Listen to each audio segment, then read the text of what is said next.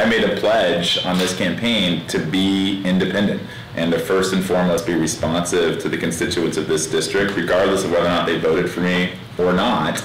And that is my first order of business is making sure that we a district team uh, that we build a dc team that i myself spend my time reaching across the aisle and communicating and listening to all the people that didn't vote for me and all the people that stayed home and didn't vote for anybody at all i think people believe that i'm going to fight for them and i think there was a sense that we had a represent representative in Washington who was fighting for his political party, who was fighting for himself, who was fighting for his corporate interests, who was not actually standing up for us.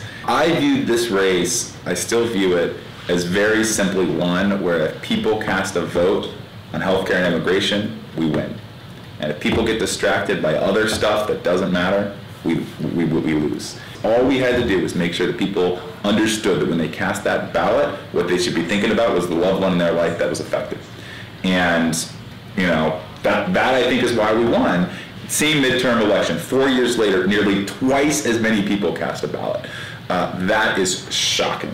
You learn that the politics were deeply personal and that one way or another people felt like their vote really mattered. I don't blame Denham for playing the political game. I think he was doing what he thought he had to do to keep his seat. Look, they spent $15 million or so on negative ads against me. But I view that as flattering. I think if they want to spend $15 million against you, must mean you're doing something right.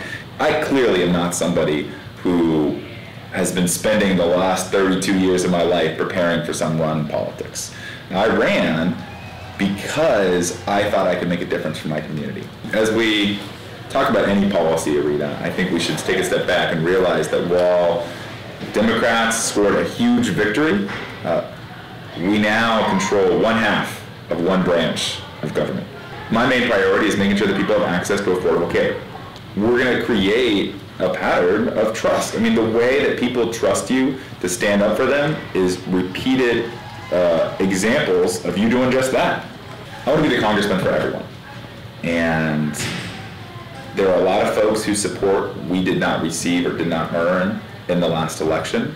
And I want those folks to know that I'm going to be spending the next two years trying to earn their support the next time around.